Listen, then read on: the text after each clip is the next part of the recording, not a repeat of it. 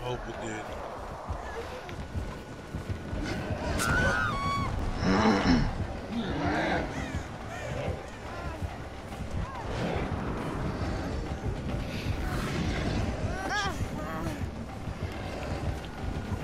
Don't worry about me.